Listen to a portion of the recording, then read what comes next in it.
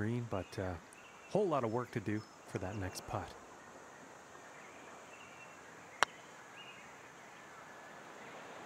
And just missing